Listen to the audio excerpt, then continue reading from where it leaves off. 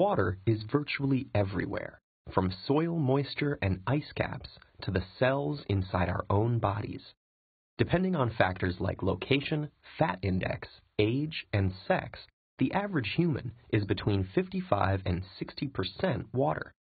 At birth, human babies are even wetter.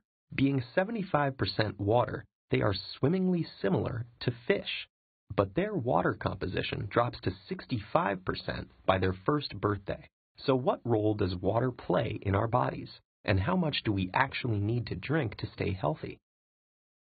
The H2O in our bodies works to cushion and lubricate joints, regulate temperature, and to nourish the brain and spinal cord. Water isn't only in our blood. An adult's brain and heart are almost three quarters water.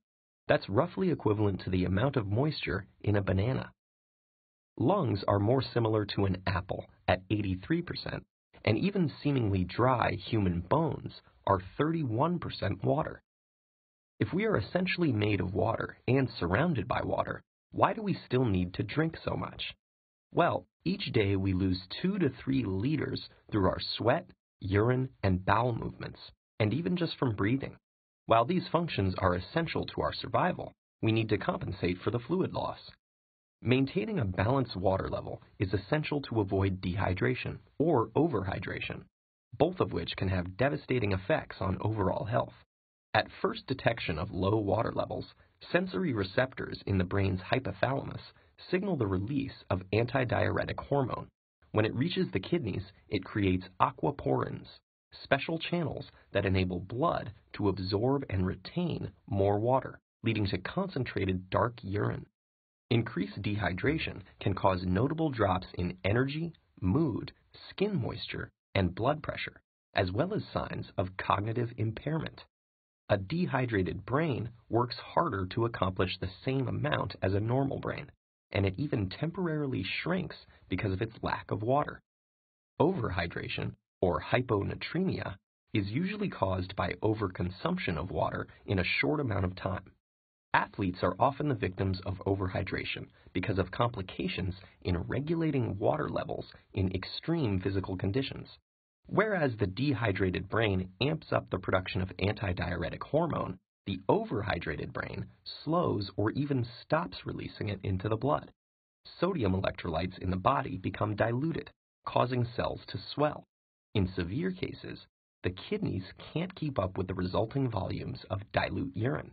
Water intoxication then occurs, possibly causing headache, vomiting, and in rare instances, seizures or death. But that's a pretty extreme situation. On a normal day-to-day basis, maintaining a well-hydrated system is easy to manage for those of us fortunate enough to have access to clean drinking water. For a long time, conventional wisdom said that we should drink eight glasses a day. That estimate has since been fine-tuned.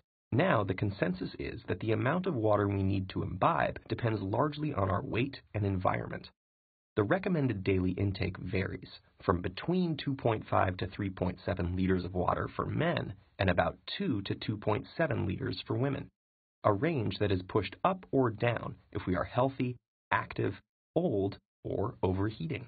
While water is the healthiest hydrator, other beverages, even those with caffeine like coffee or tea, replenish fluids as well. And water within food makes up about a fifth of our daily H2O intake. Fruits and vegetables like strawberries, cucumbers, and even broccoli are over 90% water and can supplement liquid intake while providing valuable nutrients and fiber. Drinking well might also have various long-term benefits. Studies have shown that optimal hydration can lower the chance of stroke, help manage diabetes, and potentially reduce the risk of certain types of cancer.